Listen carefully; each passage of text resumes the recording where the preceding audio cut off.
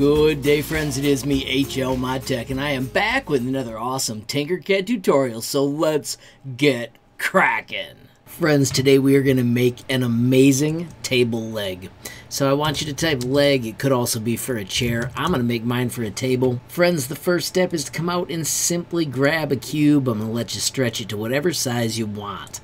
This is going to be the leg, but we're going to make it very ornate. Watch this bring out the round roof and because of cruising we can just snap it right to that side.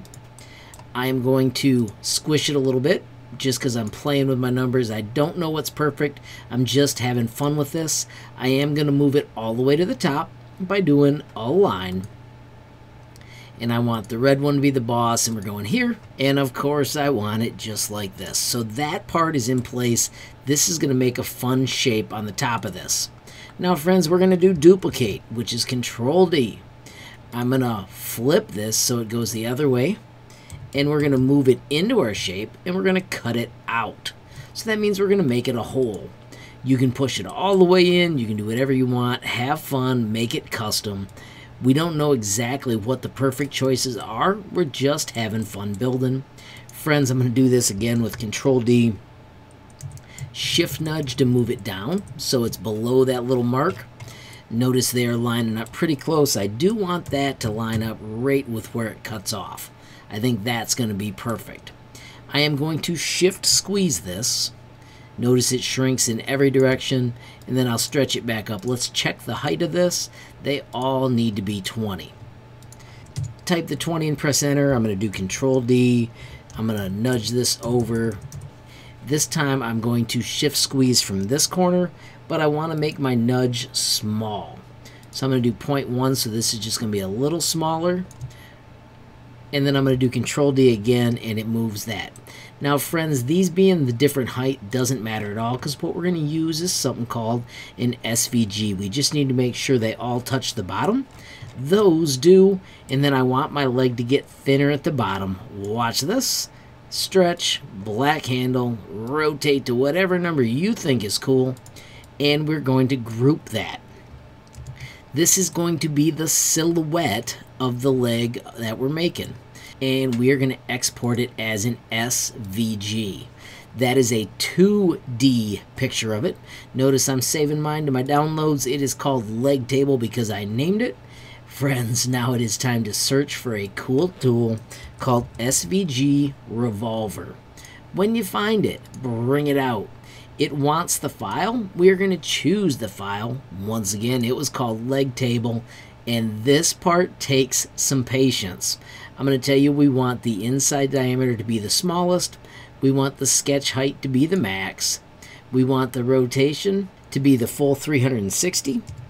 And press enter and then all of a sudden, it starts to look like a table leg. Check it out, friends. After just a moment, you've got a chair leg. Now it is short because of the 20. We can just stretch that by lifting it up. You can also hold down shift scale and it stretches in every direction. I'm going to move this piece off to the side and it's time to make it into a quick table. Of course, all we're going to do is control D. I'm going to shift nudge to move this away. Remember I had it set to 0.1. Let's move this so it's something a lot larger. There are my shift nudges.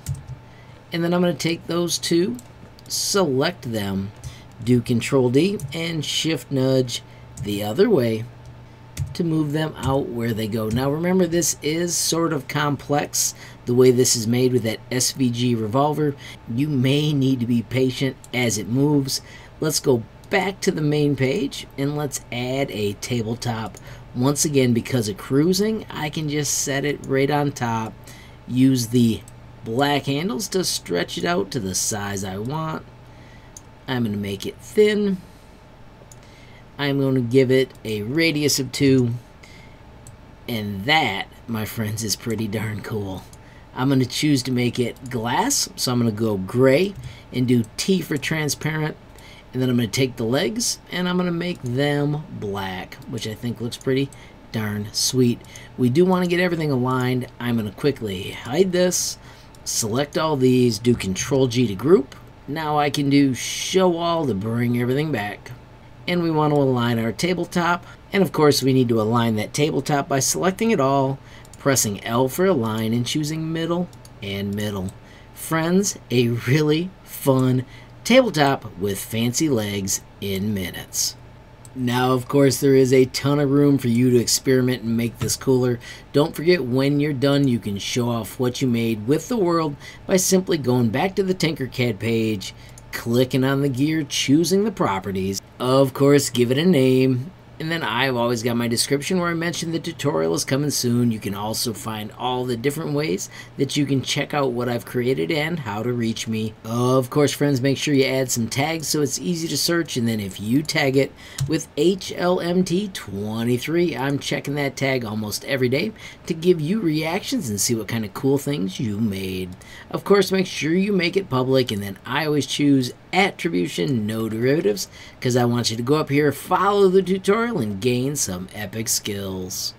Friends, I do want to quickly remind you about my website, hlmodtech.com. I've got the page dedicated to Tinkercad, tons of amazing categories, and then also day one lessons, useful starters, and Tinkercad essentials. Friends, there is also the sweet built in messaging tool. You can click that button, add your question, comment, or suggestion, and reach me almost instantly.